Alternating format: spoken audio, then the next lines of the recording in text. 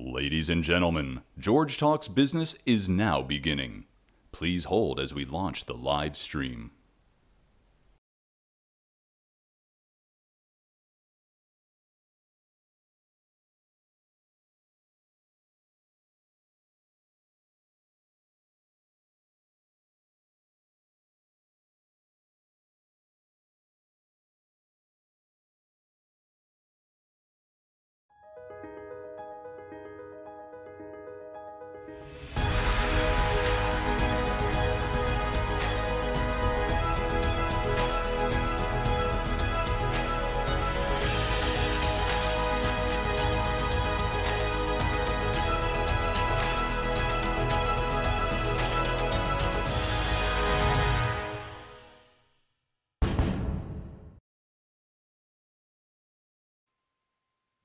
Good evening.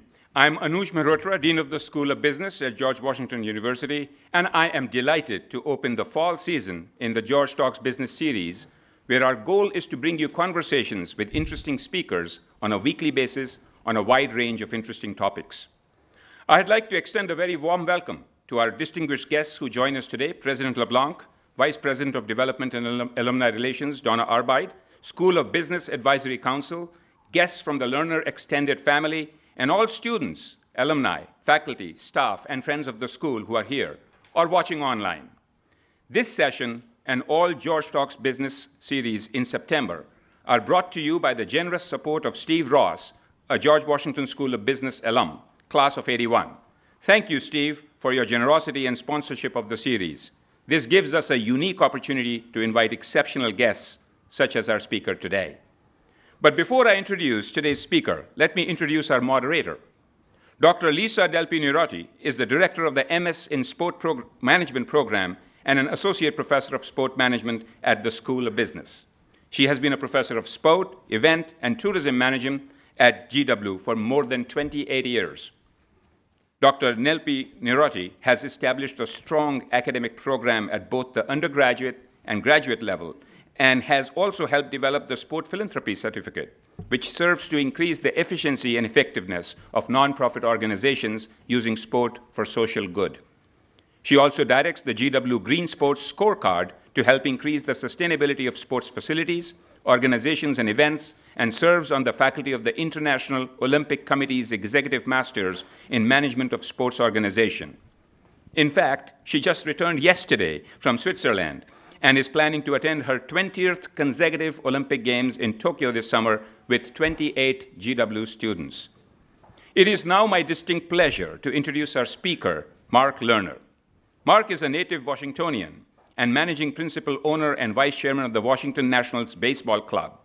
He is also a principal of Lerner Enterprises, the company founded by Mark's father, Ted Lerner, and is the largest private real estate developer in Washington, D.C. area.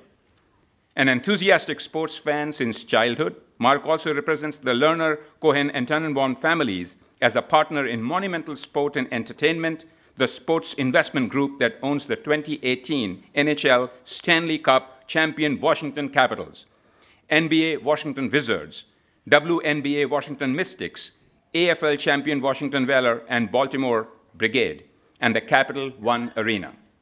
Mr. Lerner and his family are leading philanthropists in the region supporting many organizations and causes. Mark holds numerous volunteer positions within the community, too many to list them all.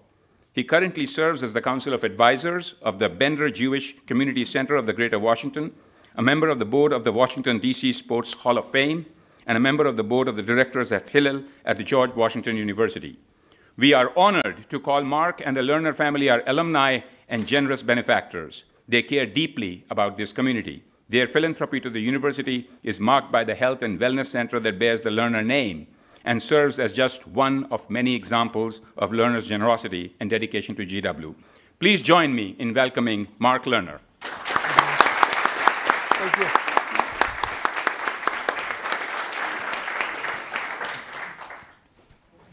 Thank you, Dean Mehrotra. Um, I know George Washington would be so proud uh, to see baseball alive and well here in the nation's capital. I just wish George could win more of those races. You know, it's, it's not it's not fixed, Lisa. uh, for a while, was, you know, Teddy's got to win it. You know, now that he's winning a few, you know, Can't, can't you put in a little bit for George? we'll do we'll do what we can. Okay. Uh, It's wonderful to see so many of you here tonight, and uh, thank you for all the questions you submitted online. Our discussion today will flow from off-the-field business to on-the-field player relations and uh, the future of baseball. So let's begin by better understanding why the Lerner family uh, was interested in investing in baseball uh, here in Washington, D.C. Well, I don't know. It became the Lerner family. I think it was more my, my dad and I uh, in the beginning. Um, I've been a sports fanatic since I was a young boy and uh, into a grown man. And um, I really, it's since a, probably a, about eight years old, I've always said to my father, I said, why don't we get one of those teams something? and uh, he said, you know, they cost some money, son. You'll learn as you get older. And when the Senators left Washington to become the Texas Rangers in 1971, um, we were obviously devastated that that could happen. And certainly we didn't know, have any clue that it was going to take 33 years to get baseball back in Washington. And we were determined to get a team. It's our hometown. We felt it important that the national pastime be represented here. And who knew it was going to take this long? Finally, in 2005, Major League Baseball made the final decision to sell the, the Montreal Expos, which they controlled at that point in time. And we went through the process. And before we went through the process, we had a meeting with our entire family. And it only took one person to stop us from moving ahead. It had to be unanimous. And um, that happened. And we turned out, it turned out that we were the only family who actually went after the team, which was to our benefit because Commissioner Selig at that point was very much a family kind of guy. Uh, he, he grew up with the Fetzers of Detroit and um, other uh, families in the baseball community. And he really felt that it was important to have family where there was succession involved. Certainly, he had to have the means, but he wanted, uh, he wanted succession to be a major part of this, that there wouldn't be a question who would take over when it was time to move on to somebody else. And um, we were that choice. And uh, we did what we were supposed to do. We, we kept our mouth shut during the process. And it was, uh, it was, you know, every morning you picked up the paper to see, you know, who did what and who was, all these rumors about who was taking the lead. But in the end of the day, thank goodness we got it. And we were officially named the owners of the team in May of 2006. And we took over in uh, July of 2006. So it's been an incredible ride, and one that it's uh, changed our family. We're very much a private family, still are, but we've been, we felt it was an opportunity to do some wonderful things for the community. For most people, sports is a past, you know, a passion, a pastime. For those of us who work in it, it's a business.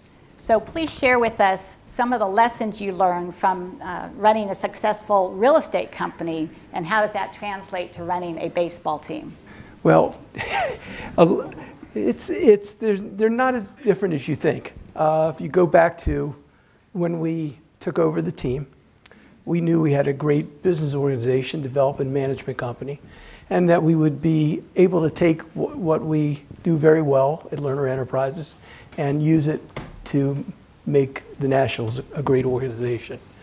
Um, in 2007 and 2008, when Nationals Park was under construction, we were able to use our development skills, and since then, our management skills in running the, the finished product to bring the, uh, the development in on time and on budget. Um, we, uh, I think we made a significant impact on what was eventually, what eventually became National Park. There were some things that the city took out that we put back in with our own funds. And uh, we, we believe that we created one of the great parks in America. Um, it's, it's, and I, th- I think that you'll find through a lot of my comments that there's, there's, a, there's a similarity in so much that we do. We, we, you know, we have a, saying at the Nationals about accountability, performance, and excellence. it's no different than the things we do at Lerner Enterprises. It's just you have a lot more eyeballs looking at you in the, in, in the sports world. But it is, it's important that um, you always strive for excellence. That's, I'm, I'm very picky. My dad's very picky about the way we want things done. Now that my sons are in the business, I've hopefully there's a little bit of osmosis there. Um, but uh, we're, we, we've, we've, we've learned a lot through this process, and uh, I believe that it, we've really found that, that balance between the two.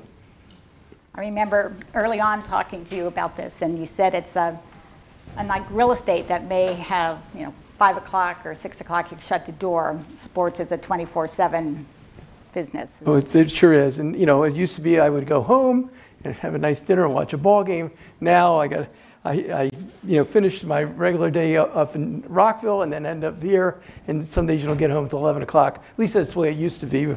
Uh, but, uh, you know, it's, it's definitely, it's consuming. Um, don't be around me when we lose. I, I uh, don't watch Sports Center. I don't watch the replays.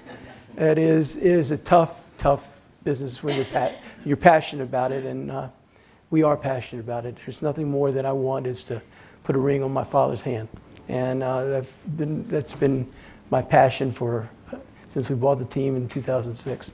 I think you, we can all agree that that's something that we all want to. So uh, bring it home. We're trying. um, how involved are the other partners in your organization? Well, uh, thank goodness my, my dad and mom are uh, here and, and well.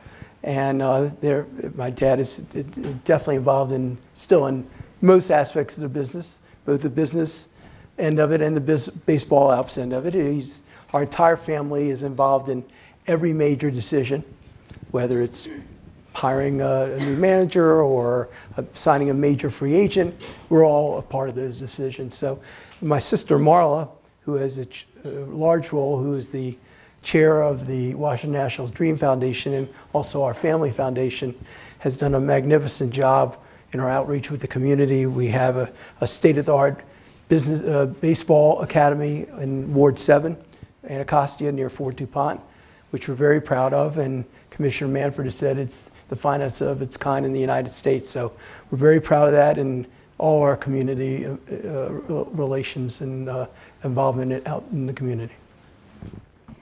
So you kind of touched on this, but what is the most challenging aspect of owning a team? Um, challenging, I think it's that you, it's one, it's tough, it's, it's tough enough getting up in the morning and wanting to build the best project you, ha- you have, or having a project look the best way, or deciding whether you should buy a piece of land or not. You know, we're tough on ourselves. But when you have tens of thousands of eyeballs on you, and not just eyeballs, sending you comments about you, are doing this wrong. Why did why did why did Davey take this guy out and bring in another guy? And you know why did, what's your general manager thinking? I mean, it's it's it's it's tough. It's tough, and you just we, we, we started this thing with an idea on how we wanted this to run. You can't, you can't get all consumed with that. If you're doing, trying to do things the right way, in the end of the day, that's, that's, that's, that will win out. But it's, it's, not, it's, not, it's not an easy world. so, what's the most rewarding? Um, I think a couple things. One, uh, certainly our community involvement uh, is something we've always wanted to increase. Um, as I mentioned, Marla has uh, done an incredible job in her stewardship of our foundation, but um, also our outreach with the military. We have had a special relationship with the military since uh, the day after we bought the team. We invite military uh, vets and their families to join us as our guests, which has led to so many other things that we do with the military. This past uh, Saturday night, we had the honor of hosting the first championship game of the uh, military softball championship, which is all the bases in and around the Washington area. It was like 150 teams, came down to two, and we had a great crowd out there. It's a for first year, and uh, but we it's it's it's just wonderful. They do so much for us. We can't do enough for them. They love they love what we do. They think it's a big deal. To us, it's, it's not, you know, it's, it's the, the least we can do. But we, that to me, that's the best part of what we do is our relationship with the military. It's very special to my wife Judy and myself. Great. Well, thank you for doing that too. Uh, with the statistics showing that, uh, that the baseball fan base is aging, um, what are the Nationals doing to engage young, a younger audi- audience? Well, since the first day we, we owned a team, our approach was to um, try to build a family oriented uh, experience at the ballpark. Uh, we started at day one knowing that the, the nine, eight, seven year olds are now, you know, all driving, bringing their girlfriends, their wives, whatever, their families. And we knew that was the only way to build a fan base out of nothing. I mean, 33 years, there was baseball fans, but they didn't have a loyalty. And even though it's a very transient population here, there was nothing to hang your hat on. And we felt that that was the best way for the future to build a fan base from nothing, to engage the families. And we've been very successful. And over the years, it's been fun to watch the kids come and the, and the parents come. And, you know, first they you know, didn't have Nationals hats. Now they're wearing hats and the shirts. And it's great. One of the fun things is still standing out at Centerfield gate when the fans are coming in and watch how it's changed over the years. And I get a big thrill out of that. If some of you are not aware, they started a new program this season, uh, Kids Eat Free, which uh, many of my friends appreciate. So I, uh, I think that's a great uh, opportunity too. Well, it's been very successful, and, and, um, and, and along with that, we, we've really tried to get our young players like the Sotos and Robles and Turners of the world more engaged with the community. Uh, Sean Lowell does a magnificent job among other, uh, many of our players in the reading program that we have in the community. So it's, we, we, can, we can do a lot. We have, uh, we clothe about, I would say, 50% of the teams in the Washington area now, Little League. Um, where our goal is one day hopefully have 100%, and they all wear Nationals garb, which is great. And um, uh, so it's, there's many ways that we can touch our community. I, I think one of the great statistics that are out now is that youth baseball has actually um, the most popular youth uh, um, sport now. It is it's exceeding soccer and, uh, and other youth sports that are out there, including and football. So we're, we're excited about that. We think we're, we're making a difference. And when you're at our games, uh, it's great to see that there's a lot of youth there, and it's fun to watch them. The, one of the fun things, and it's the simplest, the cheapest thing we do is Sunday run the bases, and the thousands of kids that come to the game just for that, uh, it, it's amazing. So uh, we have a, we, it's it's fun to watch the kids. I'm you know I love watching my kids grow up around it, and now I can watch my grandsons grow up around it soon and uh, they've got their special jackets that their mother, their grandmother made them with a curly W on it. So, Nice. um, but uh, we, um, we, we, we, uh, we believe that um, we, it's, it's, an, it's, an, it's just as important as putting a good team on the field as it is touching both military and have other community programs that, that make a difference. Right. But we all know wins and losses plays a big role in the team business success. Uh, with the, what's the national strategy to keep the team leading contender? Well, when I think it goes back to our philosophy when we, we bought the franchise. Um, it was our we you know we'd love to have won the World Series that first year, but that's not the way that was it was written up to be. We felt that the first thing we had to do before we even thought about free agency was to um, really work on our, building up our minor league program. We were giving a franchise that was less than quality than an expansion team. We had to fill 22 spots on a AAA roster just to compete the first year, and the team wasn't much better than a AAA team. And they left us no minor league talent to speak of. So we've had to start from the beginning. We felt that it was important to um, really build up the system, get the right scouts, get the right facilities, um, spend our money wisely, and at some point in time, which eventually was our first major signing of Jayson Werth, that we, we dip our toes into the free agent world. But we still take that approach now, even though our payroll has probably gotten a little bit of out of hand because of desire to win, and that'll have to change a little bit as the years come uh, on. But you know, at, at the end of the day, you you you got to have great patience in this. And no matter how much you want to win, you got to be smart about it. It's still a business, has some cool perks, but it's still a business that has to be run properly. Well, the Nationals currently have three of the top MLB pitchers. Was that strategic or luck? Well, uh, my, my, my, I remember my father's little voice says, it's all down to pitching, pitching, pitching. And that's always been uh, our goal to have a, a, you know, a great starting pitching staff. Um, we've been very lucky over the years since um, Stephen came in t- 2009 that um, we were able to attract great talent. And when we signed Max Scherzer in 2015, uh, and then Patrick Corbin this past December, we just added to that. And when you go into the playoffs, it's you know you're starting from scratch. It's zero to zero, and most of the time it's great pitching that wins the wins the day. And if you can hit steadily through the playoffs with the with the kind of pitching we have, uh, we got as good a chance as anybody. So that's always been our philosophy. We've we've got five really solid pitchers right now, a couple that are up here uh, pitching this month on top of that. So we're we're we have a good inventory for the next few years to come. So hopefully, if no, nothing changes dramatically, uh, we, we will continue to invest in starting pitching. And your pitchers can do more than just pitch.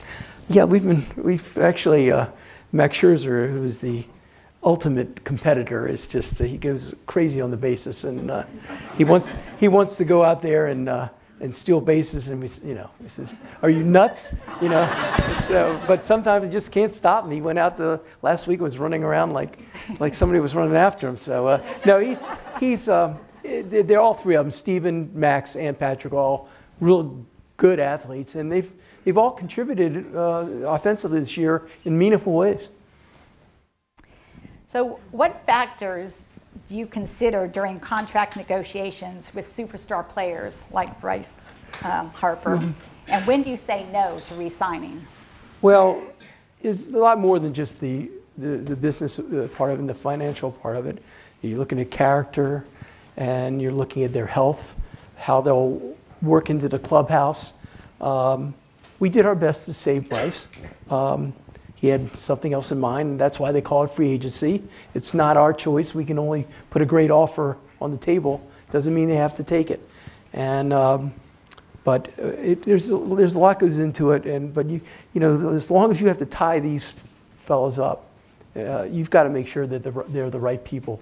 And um, if you get one, it's a bad apple. It can it can be a cancer in the clubhouse, and we're not we we're, we're not going to let that happen. And you personally meet with the players? Uh, I not too many times. I met Stephen ahead of time, who then obviously was in the draft. But uh, Patrick Corbin was one that I spent a lot of time with, and actually uh, had dinner with him and uh, with Mike Rizzo, and we were able to convince Patrick to come and be a national. And it was it, that was a lot of fun. He was a great young man, and uh, had a, had a had a interesting evening with him. And I think it hopefully it made a difference in his choosing to come here. He's he's, uh, I don't think he's hit his prime yet. I think he's going to be a great asset for years to come. Being a lifelong fan, uh, it was way before uh, sabermetrics and um, all the data analytics. Uh, so where do you think data plays a role in compared to old school methods of team management? Well, I think, I mean, you, we're inundated with data now. Um, I think as far as the Nationals is concerned, we have to find a better balance between the analytics and good old scouts and their eyeballs out in, out, out in, and around the country and in Dominican and Venezuela and other countries. So um, a lot of people have gone much more towards analytics.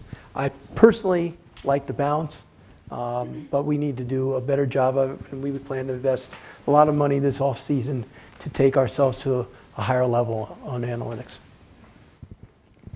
Um, although collective bargaining agreement does not end until 2021. MLB has already started to make some changes. Any prediction about other changes that may take place in the next CBA? Well, I don't know, I- I mean, it's a touchy, touchy subject. All I can say is I, I believe that both the baseball owners and the commissioner and the players um, don't want this to go on for very long. I mean, we've been through that in 1994 with the strike. That's not something any of us want to see again. Uh, I was experiencing it as a fan, not as an owner then, but uh, it's not it's not a good situation for anybody to be in, and uh, we only hope that uh, that everybody handles it in a professional manner and has the goal of uh, getting this buttoned up before uh, it goes too far and becomes an issue. But I, I'm I think the, the commissioner with his labor background has his arms well around this, and uh, I think in next year when the negotiations start going on, that uh, I think uh, we'll we'll be in good hands. Is there anything that you would like to see changed? I don't think you have enough time. oh, we have plenty of time. No, um, Commissioner doesn't like to see me too often because I'm always barking in his ear, but I think the number one thing I like to see changed is the schedule. I think that's the one that hurts us the most uh, from a revenue standpoint and from the, the players and the travel and everything else. On the revenue, it's a terrible schedule. When we have to play teams like the Marlins 18 or 19 times, and other teams within our National League East that kind of that many times, it it's it's boring. And I think that there's a way for with realignment to improve that dramatically. And I hope that that is part of what is agreed to in the next year uh, through the collective bargaining arrangement. Um, and uh, the, number two, I would think, if my top two or three, uh, would be uh, the umpiring. And what I mean, I, we have the ability now, we're very close to having the ability to techno- technologically to um, do the balls and strikes electronically. And I'm very much in favor of that. There's, they're working on it, they're making great progress. It's been tried this summer in the South Atlantic League with great success. There's a few things the commissioner was explaining to us. We had an owners meeting here last week in Washington that they have to work on.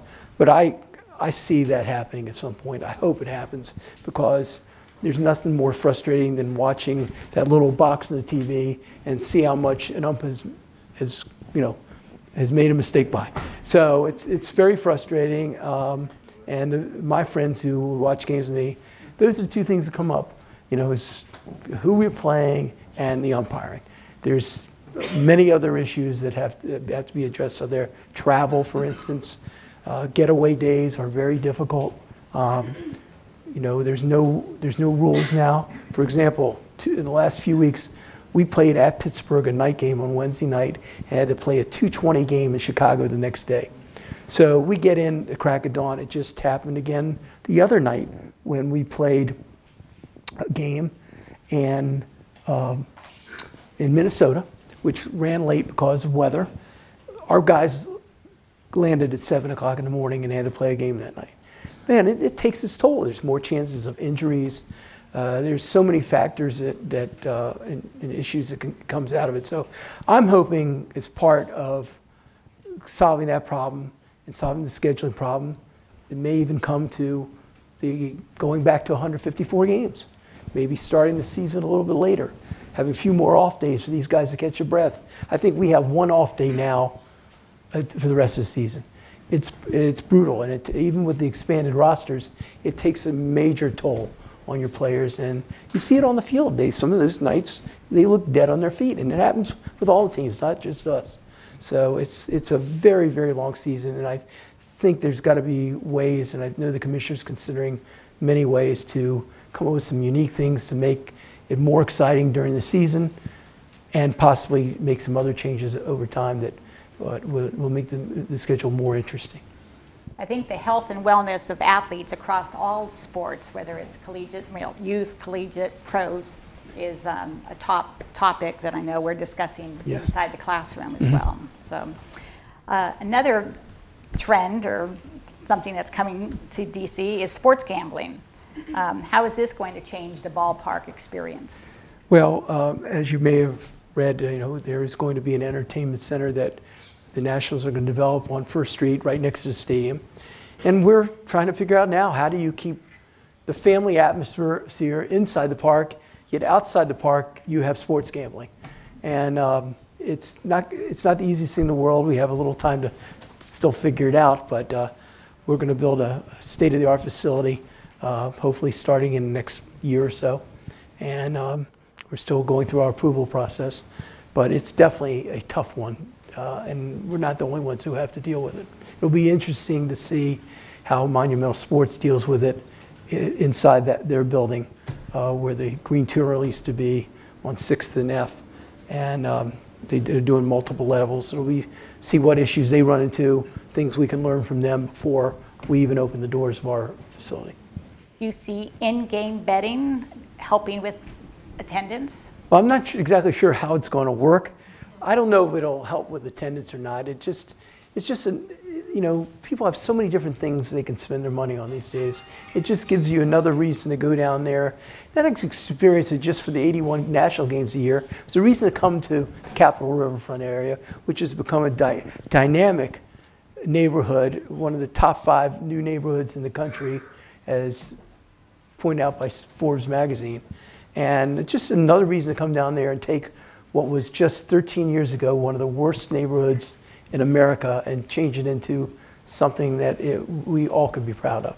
So it's, it, it's, there's a lot of good things that can come out of all this. I remember being at those uh, city council meetings uh, many years ago, uh, trying to explain to them the opportunity that a baseball um, ballpark can do. Know, there was a, there were a lot of naysayers for sure. Um, I think the, the ones you'll find many that even voted no against it back then we'll say it's one of the great things that happened to the city, and uh, it's amazing what a ballpark can can do for your city. Look at so many communities around the country that have put uh, great ballparks in tough areas and made them into little jewels within the within the community. So we're very proud of what we've accomplished. Um, uh, the- the- you know, there's always eight, nine, ten cranes in the air in our neighborhood. It's amazing to watch what has been accomplished. It's really since the end of the recession in like 2010. It's amazing how many buildings have gone up in our neighborhood. And I know you're a partner in one of the other, you know, uh, another sports ownership group, but do you view the other sports teams as competitors? No, just the opposite, really. Um, we're all better off if, if all of us are winning, and uh, it, to it make Washington a great sports town. Um, can't sit there and root against anybody else. I'm uh, obviously I'm a partner in the Wizards, Caps, and Mystics and and Monumental Group, so I was just as thrilled for Ted when he, when he won the Stanley Cup as I, he would be for me if we won the World Series. And he's been uh, a great partner, a great friend, and wish him nothing but the best. And the same goes with for the other teams in the area, including the Redskins. We, it's, it's good if everybody's playing well, winning titles, winning divisions, and it's, uh, it's good for the community. And kind of going back, uh, you were gracious enough to allow some GW students and I to go down to Dominican Republic and visit the academy down there. Um, where do you see You didn't return my suntan lotion. uh, where do you see the international players um, fitting in with baseball, not only now but in the future? Well, I think at some point in time, there, there's got to be an international draft. It's uh, a lot of people describe what goes on down there as the Wild West, and it's every bit of that.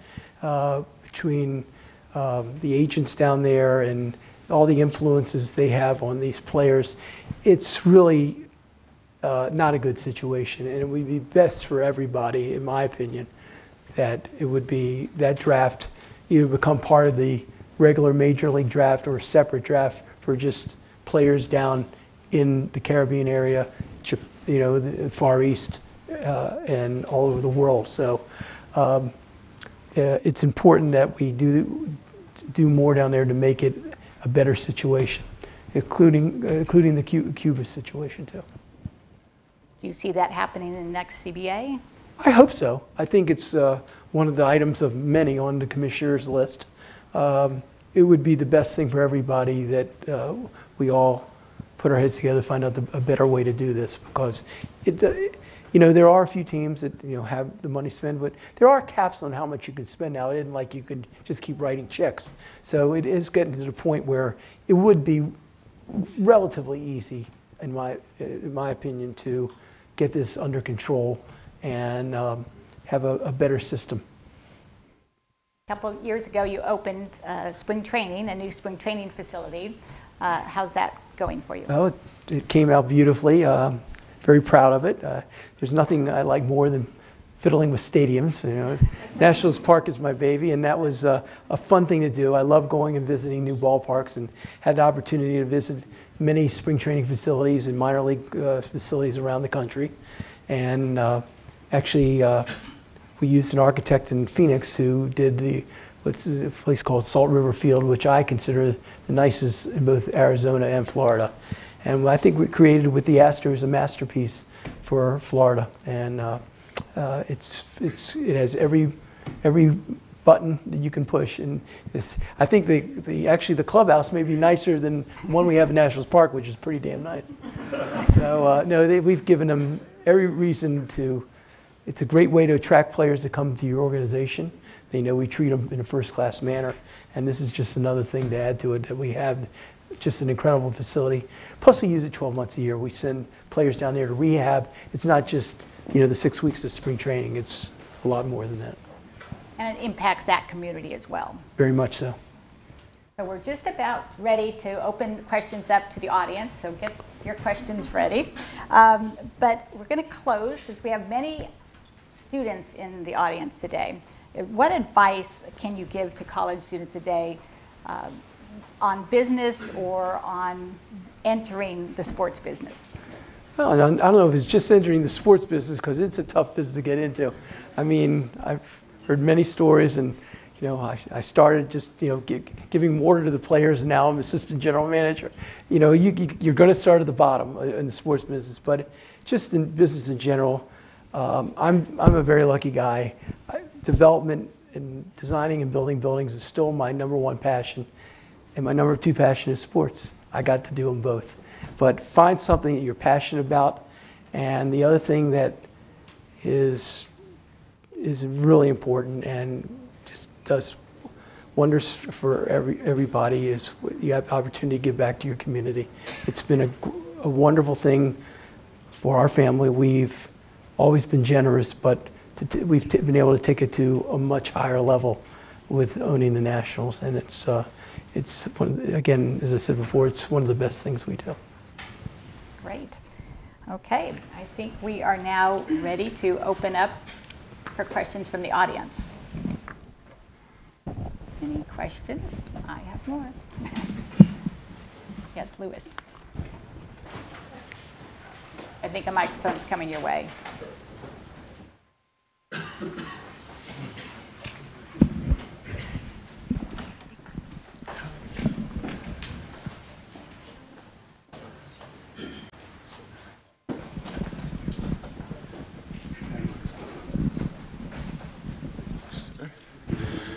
How are you all? Uh, my name is Lewis. Uh, recent graduate to um, work for the Washington Wizards now, so uh, not your not too distant neighbor. Um, want to get your input on you know being in sports. Uh, a lot of it is about teamwork, fighting through adversity. Um, the Wizards are not projected to have a great season uh, record-wise.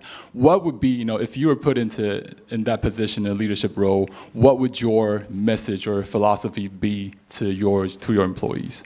Well, I I think what you've seen since the end of the Wizards' past season, that uh, Mr. Leonsis took a long time to figure out what's the best way to take the Wizards into the future. I give him a lot of credit. He was very patient about it. Um, I wouldn't change much of the way he's approached it to find out what the new ways are to approach building an organization, building a team. Um, and uh, I think that he's on the right track with the changes he's made this offseason the, the, the old way of building teams is, is you know, out the door now. And every, everybody has to look at it through fresh, fresh pair of glasses. I think that he is a, is a visionary, and I think that the way he's approached it um, will get the Wizards to the level of where he's taken the Capitals, hopefully in the near future. And I should say that if you have a question, I think uh, they would like you to come around and go to the microphone over there. So if you wouldn't mind standing up and walking over. Um, But if there's. I have the mic, sorry. Sorry. Hi, my name is Princess. I'm a master's student in the Masters of Sports Management program, just started. Um, so I have a quick question for you in terms of the balance of baseball operations and how that's um, kind of shared between your family and Mike Rizzo. So when it comes to making those big decisions and getting players in or sending players out, how, what's the balance in the conversations between your decisions overall and Mike Rizzo's expertise? Well, we, we certainly listen to, to Mike.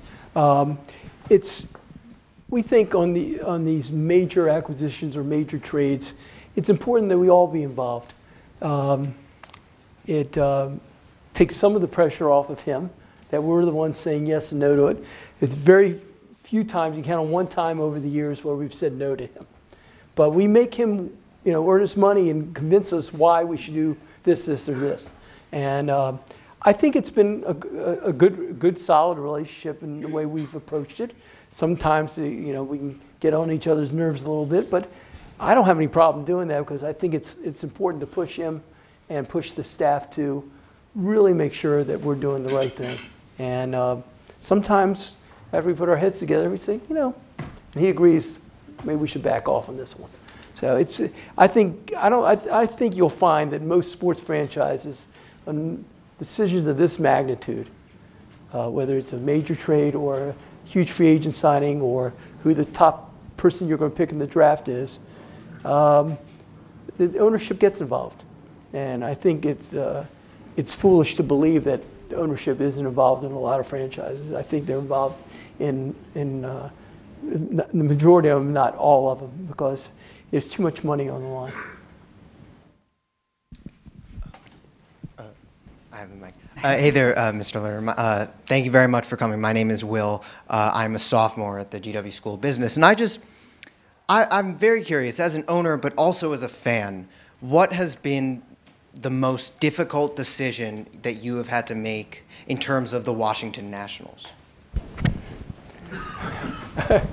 it's a tough one because uh, I, you know, I, I look at my role. I, I'm a fan first. First of all, you, you can't be in this and not take the approach that if I was sitting in that guy's seat, you know, how do I want to be treated? So that's always been my personal approach since day one. The first meeting that I personally had, the, the afternoon we closed on, on the Nationals, was with our ushers. And um, because they're the first face that somebody sees when they come in, the last face they see going out. And over the years, we've gotten more great letters about our staff uh, than you can imagine. Um, and I, I, I just I think that it's not just one thing. I think it's just the overall approach to the, the, the, the way we, we want our fans to be treated.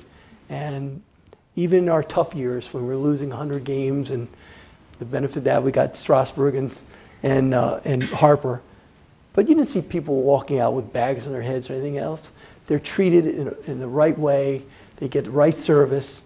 We hopefully we, we provide everything you need. And when we get a letter from a fan saying they're unhappy about this or that, one thing is for sure, you're going to hear back either on a phone call or in a letter uh, whether we can do something or not do something. But it's the worst feeling in the world that you approach a sports organization and you get nothing but silence. That I cannot stand. And I knew that's one of the things that when we got involved that good or bad, we were going to respond to our fans. And some of the years when we haven't done very well, you, you know, you're going to get your complaints. And I'm sure if we don't win it this year, we'll get uh, plenty of complaints too. That's part of it. But we're, not, we're never going to strive at any, anything but the best for our city and our franchise. And we, we're going to pursue excellence every step of the way. Hello, my name is Sammy Robb, and I'm a full-time MBA student. Uh, Thank you so much for coming out. Uh, I had a question about uh, economics and real estate. Uh, you know, in looms of the talks about recession, changing rates in the industry, uh, I know this coming week we have talks whether it's going to drop. Um, where would you say the trends are going for real estate? I know that um, during the time of the recession, it could be 18 to 24 months. Where do you see the opportunity going for investments during this time in commercial and residential real estate? And which areas do you think will be the quickest to bounce back? And I'm not just talking you know, northeast area, but the United States as a whole. Well, it's a, it's a great question. Um, we happened to meet about five hours ago about this exact subject. Um, I, I personally see a recession coming. Um, I think that we have our issues like any other real estate company um, to make sure that um, where we spend our money, we're doing it in a smart fashion. Every building we start, it's so difficult now to decide which one we're going to start uh, because you have limited resources.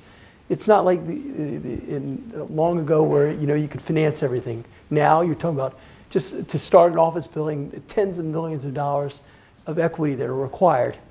Uh, really help make the decision for you is even though we're doing many sets of working drawings now to prepare ourselves for the future, and you never know when something's going to pop, some tenant comes along that wants to be, for example, at, at Tysons 2, we want to be ready for them. But on the other hand, there's not, there are not many uh, buildings that we can build at once. We, we, all, we usually have one or two, you know, uh, buildings that are under construction, a number of them in the pipeline, but it's, it's very difficult to, to, um, um, uh, to get, get a project started these days. Now, to get back into your, your question, I think that um, hopefully our area is as good a chance to bounce back as any area because of the federal government being here. And that's what brought us out of the recession in 2008 to 2010.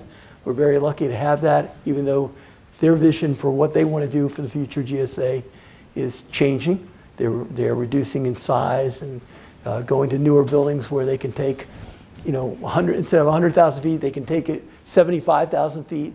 Um, and they're taking a whole new look at the way they approach it. But our area's been pretty lucky over the years. And I would hope that um, our, eh, that the Washington area will stay strong, expect a little bump. Now, a little bump sometimes is good. Uh, Construction prices have gone, gone out of control. Um, That has to be reeled back in. I mean, we just finished uh, uh, a pricing exercise, uh, bidding a building that we just started last week near the ballpark. And from the time we finished the preliminary plans to the time where we are now, prices have gone up like 13%. It's, I mean, by the time the ink's dry on the piece of paper for, for our budget, it's, you might as well throw it away and start over again.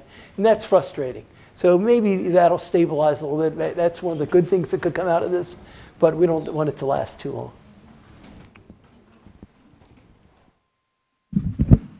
Hello, my name is Victor and I'm a freshman. So, my question was um, How do you think the baseball industry would change if teams were allowed to purchase players instead of trading? Well, well, we, um, well, we, I guess we were in that, we're already there with free agency. Um, any, any team can jump in on that, uh, but it's very expensive. Um, many teams in baseball don't go that route. Uh, they can't afford to go that route. Uh, we probably can't afford to go that route, but we've done it. Um, but we, we're, we, are, we are desperate to win. And we want a good, if, we're, if we were in it just to have a team that made a couple bucks and but we had to put a rotten product in the field, we wouldn't stay in this. Um, it's, it's the passion uh, of our family to um, put the best product on the field every year. You're not going to be successful all the time, but we go into every season like we're going to go for a title, and and we're not we're not going to be satisfied until we we we win one. But it's a free agency is a is a diff, different different kind of highway, and uh, it is it can a lot of pitfalls, and but you have to be damn certain about what you when you go in after a player that this is a guy that's going to make a difference because you can't afford to make a mistake because You can't just say, okay, let's tear it up and go for the next guy. You're stuck. And most of these deals now are five, six, seven, eight, and as Bryce signed for 13 years. And it's, it's, you have to be, you have to be fully aware of that when you jump in. And a lot of teams just won't do it. The, their, their market's too small or they're afraid of it. But to answer your question, anybody can purchase players. It's how you go about it. Hello, uh, my name is Sangmi Park. I'm an alum of the sport management program. I recently started the MBA program, and also I'm a staff member um, in the development office uh, for the athletics department here at GW. Um, I just had a question in regards to the globalization of baseball. Um, there's several international players within the league, and also recently um, the league also hosted a game in London. So I was wondering just what your intake on um, the globalization of baseball was, and also where you see it being headed in the future. Well, I'm, I'm all for anything that will increase the revenues of baseball. Um, I think the NBA, you know, reigns supreme in that. I, um, I think it, at some point in time, the NFL will put a team in London. The success of this summer of the Yankees Red Sox series at Wembley Stadium was, or Olympic Stadium was amazing. Um, we're hoping to be able to do that in the next few years ourselves, be a participant in that. But I think it's I think there's, you have to go for globalization. Um, there's, just, there's just not enough here uh, to, uh, and to be able to survive with the kind of numbers that are out there right now for players, you need, we need extra revenue to survive. And that's one of the ways. And I'm, I think at some point in time you'll, you'll see some teams in Europe. It's not going to happen overnight. And, uh, but I, I'm glad that the commissioner made that step and, and did the Red Sox Yankees series because it was a phenomenal success. The lines were amazing. He told me he waited an hour just to get into the into the, into the uh, team store there. Um, so uh, hopefully um, that will happen sooner rather than later. But uh, I, but all the things that they're now implementing, not just overseas, but just like next year is going to you're going to have that really cool game in the Iowa cornfields near the Field of Dreams. Uh, you got more buzz about that than the World Series at some I wonder. But uh, I told him to save me a couple of seats for that one. But uh, no, I, I, think that that is, I think we have to come up with a imaginative ways to make the, make the season a little bit more interesting. Not just to change the schedule, but have opportunities like that, going to Williamsburg like the Pirates and Cubs just did, anything that will spread the, the love of the game around, not just to the major cities, but all over the country is important. Thank you. I want to put a tip in. One of our alums that works for Major League Baseball International was responsible for organizing and putting that game on. So we're very proud of his work. he did a great job. Hi, uh, my name is Edwin. I'm a freshman in George Washington University. Um, I would actually like to learn uh, more about success. And my question is um, what characteristics do you think a person should have if he or she wants to be as successful as you? Well, I'm, um, I think it's one word. You got to be passionate. It's, that's, I love getting up on Monday mornings and going to work. When that ends, you know, that'll be the end of it. But I, you know, I'm one of those guys. I, I, enjoy, I enjoy working, but I'm passionate about what I do. I am. Um, I, I, lo I love the, not only the process of building buildings, but I love what we're, we're doing with our team, and keep making making it better. Not just what's on the field, but in the community. So all those things get my juices flowing every day. But when when when there isn't passion, uh, you, you better look for something else. Thank you. We have a couple more. Hi, uh, my name is Alan. I'm a recent grad of the sports management program here at GW.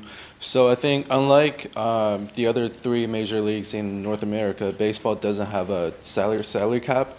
So I think as fans, we can see some teams even from be before the season starts. We can tell which teams are competitive and which teams are are not trying to win. So I guess from my question is that as a as an owner, do you think that contributes to um, I guess the disparity in baseball and the competitive com competitiveness, and do you think that's something you want um, maybe see change in the future?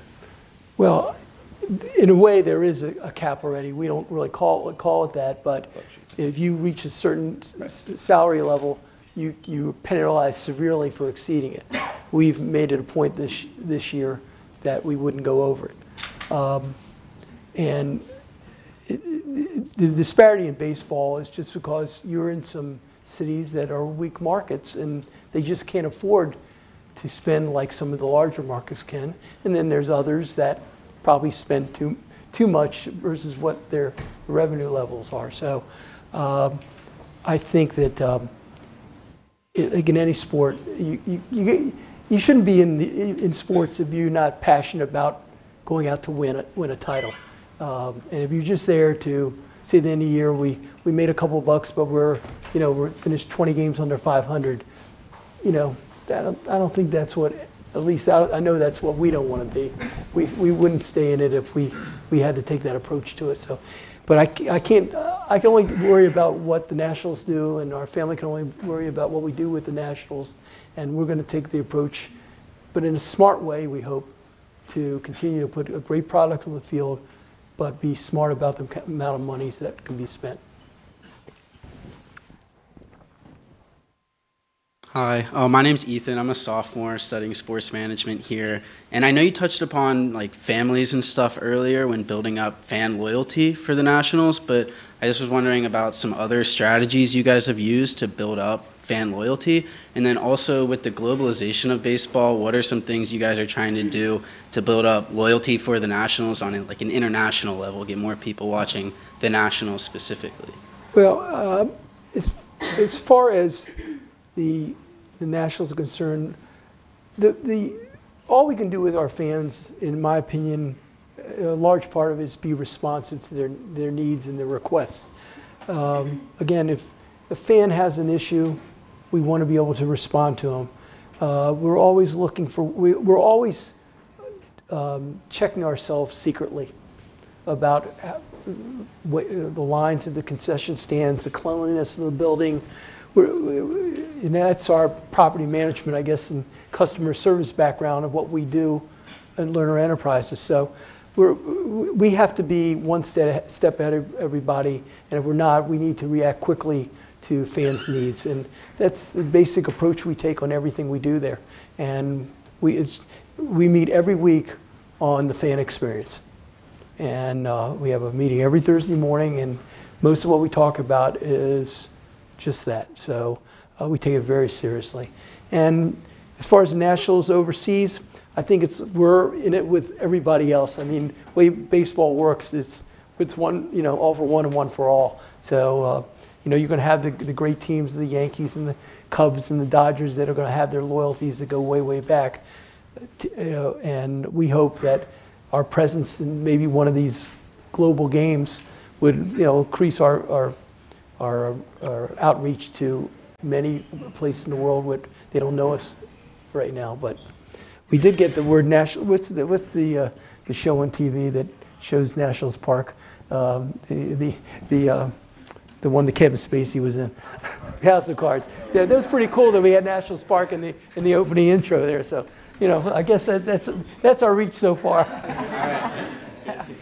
Great. I see we have three people and we have three minutes. So um, go ahead quickly. Uh, hi, I'm Jason. I'm a freshman in the School of Business, and I was just wondering, over the last two off seasons, we've seen the free agent period, free agency period kind of slow. Where last year guys like Machado and Harper didn't sign almost well into spring training. What do you think is the reason for that, and how do you think that'll affect your contract negotiations with Anthony Rendon at the end of the year? Um, I, do, I think a lot depends on what agent you have. I mean, every agent takes a different approach. Um, when we dealt with Patrick Corbin, it was a very short and sweet, like 10 days, start to finish. Um, other agents do things differently, and they stretch it out to get the last dollar. I, you know, every it's it's a whole mixed bag out there with that.